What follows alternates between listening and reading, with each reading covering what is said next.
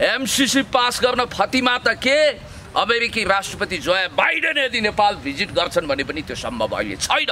नेपाली जनताले पचास करोड डलरमा रणनीतिक स्वार्थसँग जोडिएको एमसिसी तपाईँहरूको कार्यक्रम संयुक्त सरकारको साझा न्यूनतम कार्यक्रममा एमसिसी के गर्नुहुन्छ? भन्नु परेन। चुपचाप लागेर। नेपाली जनताले जान्न चाहेको छ सम्माननीय प्रधानमन्त्रीज्यू। के गर्नुहुन्छ एमसिसी तपाईँ? यसलाई ट्रिटी सरह सन्धि सरह बनाउनको लागि संसदको बहुमत यसलाई पास गर्नुपर्छ। संसदमा त यो जस्ताको तस्तै कुनै हालतमा टेबल हुनेवाला छैन। यसलाई म अर्को कुरा के भन्छु भने दारा नङ्ग्रा झिकिएको सर्कसको बाघ होइन अहिले एमसिसी यो साँच्चीकै बाघ हो।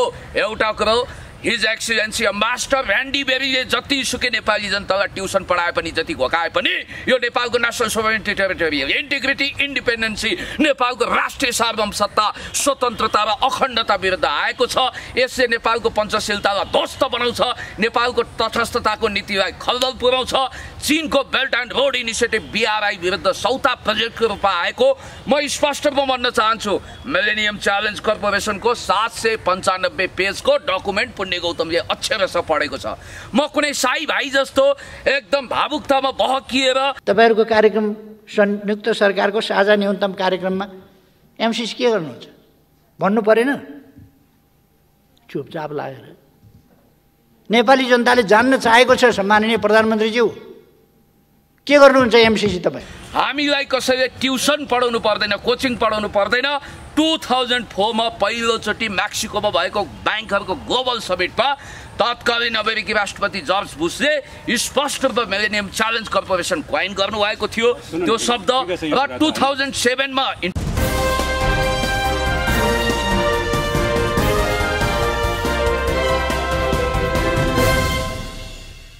सामान्य प्रधानमन्त्री होइन शेरबहादुर देउवाजी त्यसै प्रतिपक्षी दलका नेता हाम्रो केपी शर्मा ओली र गठबन्धनका नेताहरू माधव कुमार नेपाल प्रचण्डजीहरूलाई भेटेर भेट्नु आउँदै हुनुहुन्छ। यसमा चाहिँ के छ तपाईँको धारणा?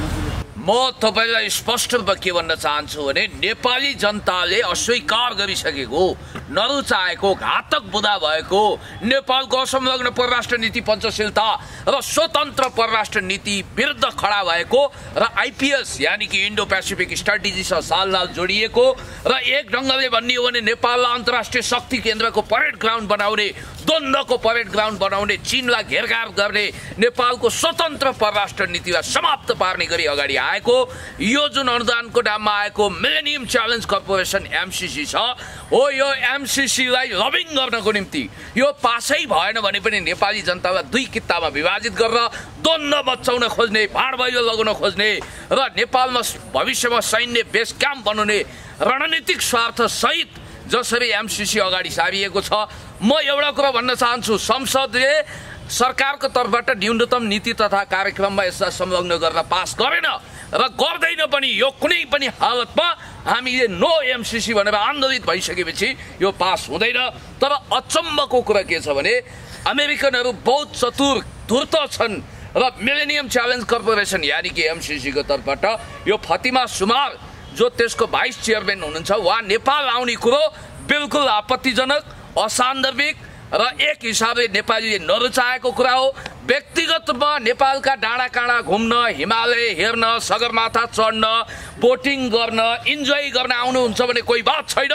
तर एमसिसीको एजेन्डा लिएर खबरदार कुनै पनि विदेशी नेपालमा नआउनु यदि त्यस्तो हो भने कालो झन्डाको वर्षा हुनेछ आन्दोलन हुनेछ आन्दोलनको आदिबेरी सृजना हुनेछ।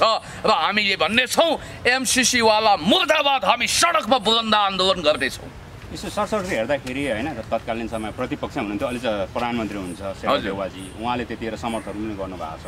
फेरि त्यो उहाँहरूले अहिलेको स्थिति हेर्दाखेरि प्रत्यक्ष रूपमा भाइस प्रेसिडेन्ट नै आउनु हिसाबले त कता कता होइन पास पो हुने हो कि भन्ने एउटा गन्धहरू पनि तरङ्ग पनि फैलिरहेछ नि त। एउटा कुरो म भन्छु जनता को हुन्? जनार्दन हुन्? जनता भगवान् हुन्? जनताभन्दा ठुलो कुरो केही पनि छैन। जनताको अदालतमा उभिएपछि कुनै पनि शेरबहादुर स्यालबहादुर हुन बेर लाग्दैन हात्तीबहादुर गैडाबहादुर सिंहबहादुर आदि इत्यादि जुनसुकै शेरबहादुरहरूले पनि केही पनि गर्न सक्दैनन् र उहाँलाई म यति कुरा भन्न चाहन्छु कि शेरबहादुरज्यूको कुर्सीको खुट्टा यसरी हल्लिन्छ कि उहाँ बरु अमेरिका त्याग्न तयार हुनुहुन्छ त्यस्तै पऱ्यो भने आरजु म्याडमलाई पन्छाउनुहुन्छ तर यो कुर्सी पन्छाउनु हुन्न सम्मान्य पूर्व प्रधानमन्त्री कमरेड माधव कुमार नेपाल र कमरेड प्रचण्डले क्याटागोरी गरी घातक बुदासहित एमसिसी पास हुँदैन भनेर भनिसक्नु भएको परिस्थितिमा जतिसुकै भेटघाट गरून् जतिसुकै मर्निङ वाक लगाउन् जतिसुकै डेलिगेसन आउन् नेपाली जनताले पचास करोड डलरमा रणनीतिक स्वार्थसँग जोडिएको एमसिसी स्वीकार गर्नेवाला छैनन्। कतै होइन पास भयो भने चाहिँ अथवा पास गर्न खो खोजेको खण्डमा चाहिँ तपाईँहरूले अब मिडिया मात्रै कराएर त पक्कै हुँदैन होला। त्यसलाई रोक्नको लागि चाहिँ के के कुराहरू हामीले के भनेका छौँ भने नेपालको संविधानभन्दा माथि रहने गरी नेपालका कानुनहरू स्वतः निष्क्रिय हुने गरी अनि अर्को कुरो तपाईँलाई भन्न चाहन्छु मिलेनियम च्यालेन्ज कर्पोरेसन अन्तर्गत नेपालको बौद्धिक सम्पत्तिमाथि नेपालको अग्राधिकार नहुने गरी त्यति मात्रै होइन महालेखा परीक्षक कार्यालयले महालेखा परीक्षक कार्यालयले लेखा परीक्षण गर्न नपाउने गरी अथवा नेपालले बनाएको नीति कार्यक्रमलाई भारतीय अनुमोदनको टाँचा लगाउनु पर्ने गरी जसरी यो आउँदैछ र यसलाई कार्यान्वयन गर्नको निम्ति एमसिए गठन गरिएको छ। मिलेनियम च्यालेन्ज अकाउन्ट म भन्न चाहन्छु यी अवैध अवाञ्छित गतिविधिहरू कृपया बन्द गरियोस्। किनभने एमसिसीको एउटा नियम के छ भने यसलाई ट्रिटी सरह सन्धि सरह बनाउनको लागि संसदको बहुमतले यसलाई पास गर्नुपर्छ। संसदमा त यो जस्ताको तस्तै कुनै हालतमा टेबल हुनेवाला छैन। यसलाई म अर्को कुरा के भन्छु भने दारा नङ्ग्रा झिकिएको सर्कसको बाघ होइन अहिले एमसिसी यो साँच्चीकै बाघ हो एउटा कुरो। हिज एक्सिलेन्सी अम्बासडर ऱ्यान्डी बेरीले जतिसुकै नेपाली जनतालाई ट्युसन पढाए पनि जति घोकाए पनि यो नेपालको national sovereignty territorial integrity independency नेपालको राष्ट्रिय सार्वभौम सत्ता स्वतन्त्रता र अखण्डता विरुद्ध आएको छ। यसले नेपालको पञ्चशीलतालाई ध्वस्त बनाउँछ नेपालको तटस्थताको नीतिलाई खलदल पुर्याउँछ चिनको belt and road initiative BRI विरुद्ध सौता प्रोजेक्टको रूपमा आएको। म स्पष्ट रूपमा भन्न चाहन्छु मिलेनियम च्यालेन्ज कर्पोरेसनको सात सय पन्चानब्बे पेजको डकुमेन्ट पुण्य गौतमले अक्षरशः पढेको छ। म कुनै साई भाइ जस्तो एकदम भावुकतामा बहकिएर अब त्यो फेसबुकमा आएका सामग्रीको प्रसारण गर्ने मान्छे पनि होइन। थापा भाइ जस्तो एकदम उत्तेजनामा आएर तथ्य र सत्य भन्दा बाहिर गएर भावुक कुरा गर्ने मान्छे पनि होइन। पुण्य गौतम एउटा पिएचडी लेभलको मान्छे हो रिसर्च गरेर बोल्छ। र म उहाँलाई सम्झाउन चाहन्छु राजदूत ऱ्यान्डी बेरी तपाईँले भने जस्तो एउटा कुरा ख्याल गर्नु होला यो मिलेनियम च्यालेन्ज कर्पोरेसन याद गर्नुहोस् तपाईँको तत्कालीन विदेश मन्त्री कोन्डालिजा रैसले के भन्नुभएको छ? तपाईँलाई न्युयोर्क टाइम्सको त्यो आर्टिकल याद होला मैले त्यसको कपी पनि राखेको छु। यो एसिया पेसिफिकसँग जोडिएको छ। त्यो एसिया पेसिफिक अहिले इन्डो पेसिफिकको रूपान्तरित भएको छ। अर्को कुरो तत्कालीन संयुक्त राष्ट्रसङ्घका महासचिव हेभियर पेरेज द कोयार जो पेरुको नागरिक हुनुहुन्थ्यो उहाँले के भन्नुभएको थियो?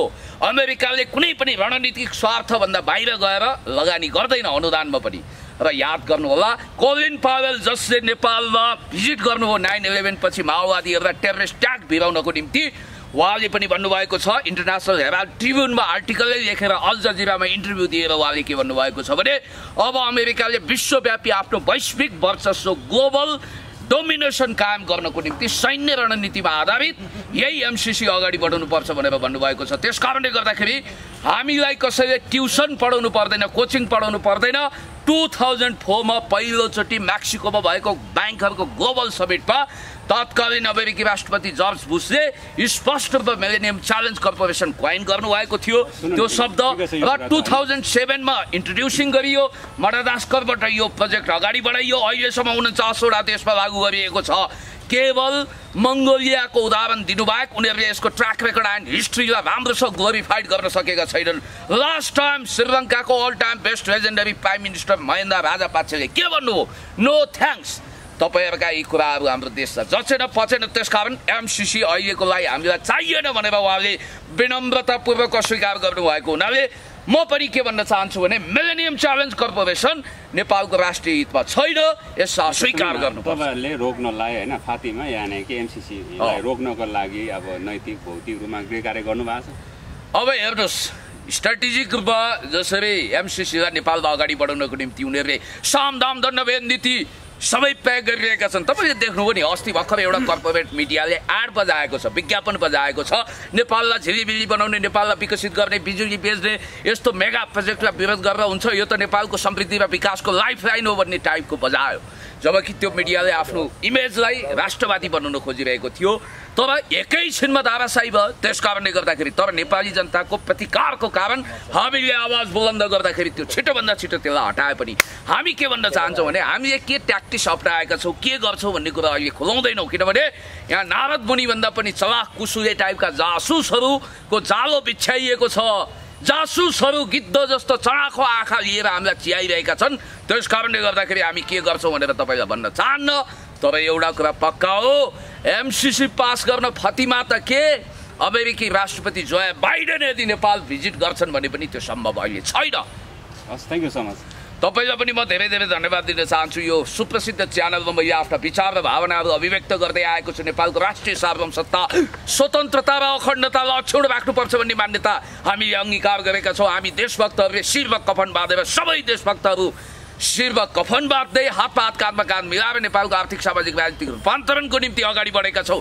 तमाम खाले राष्ट्रघाती सन्धि सम्झौताहरू पनि हामी खारेज गर्न चाहन्छौँ खारेज गर्छौँ भन्दै तपाईँले यो मौका दिनुभएकोमा तपाईँप्रति विशेष आभारी छु धन्यवाद।